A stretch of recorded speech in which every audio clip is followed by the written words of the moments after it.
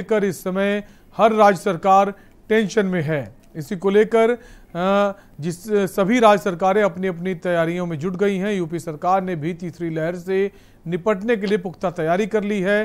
CM योगी ने team nine की बैठक में अफसरों को तीसरी लहर से निपटने का पूरा एक्शन प्लान समझा दिया है। ये रिपोर्ट देखिए। कोरोना के खिलाफ एक्शन में सरकार। थर्ड वेव से निपटने का योगी प्लान। टेस्टिंग, कॉन्टैक्ट और ट्रेसिंग पर ज़ोर। नेगेटिव रिपोर्ट लाओ, यूपी में एंट्री पाओ।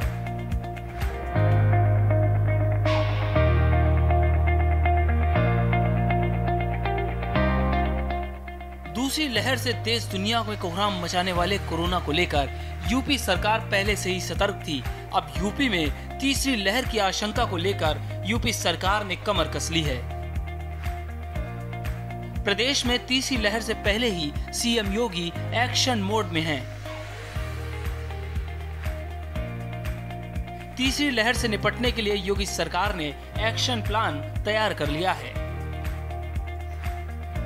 कोरोना संक्रमण की दूसरी लहर के बीतने के बाद अब तीसरी लहर की आशंका बनी हुई है।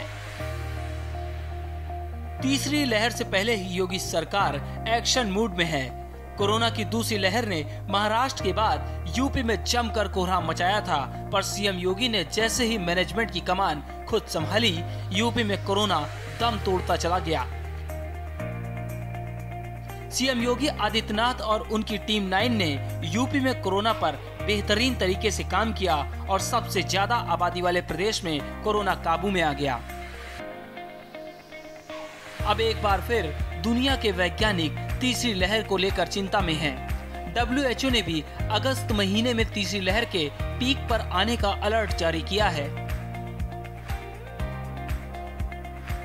ऐसे में योगी सरकार भी हरकत में आ गई है और कोरोना की तीसरी संभावित लहर से निपटने के लिए जी जान से जुट गई है।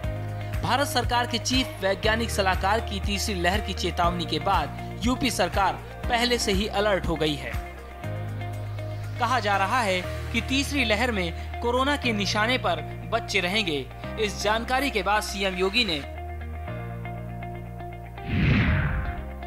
यूपी के 75 जिलों में मेडिकल इंफ्रास्ट्रक्चर को और मज़बूत करने का काम तेज हो चला है। कोविड अस्पताल, बेड उपकरण, वेंटिलेटर, जाँच यंत्र, दवाइयाँ, पैरामेडिकल स्टाफ सब में बढ़ोतरी की जा चुकी है।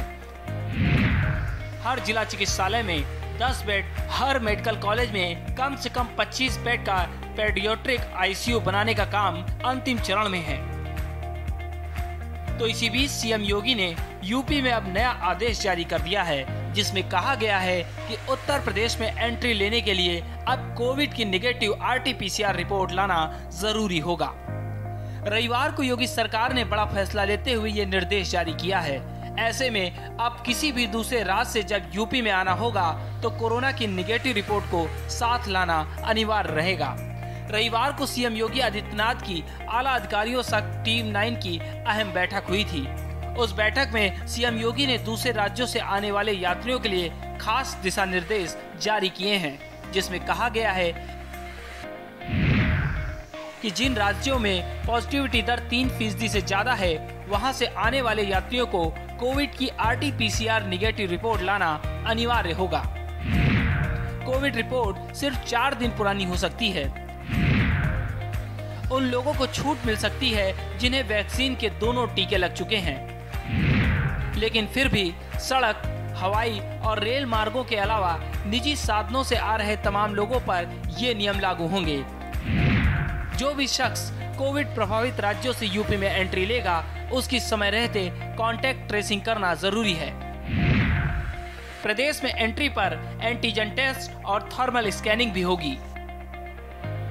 सीएम योगी आदित्यनाथ की तरफ़ से स्पष्ट निर्देश दिए गए हैं कि ट्रेस, टेस्ट एंड ट्रीट की नीति पर अधिकारियों को काम करना होगा और कोरोना प्रोटोकॉल का राज्य में सख्ती से पालन होना चाहिए।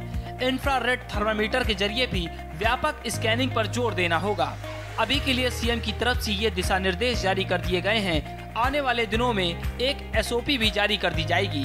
बता दें कि इस समय तमाम राज्य सरकारें ऐसे फैसले इसलिए ले रही हैं क्योंकि देश पर कोरोना की तीसरी लहर का खतरा मंडरा रहा है। नीति आयोग की तरफ़ से भी कह दिया गया है कि आने वाले 125 दिन काफ़ी अहम होने जा रहे हैं। ऐसे में अभी कोई भी राज्य सरकार ढील नहीं बरतना चाहती। यही वजह है कि कोरोना की तीसरी संभावित लहर से पहले योगी सरकार फुल एक्शन मोड में है, जिससे कोरोना की तीसरी लहर को यूपी से दूर रखा जा सके। स्पेशल डेस्क के न्यूज़ इंडिया।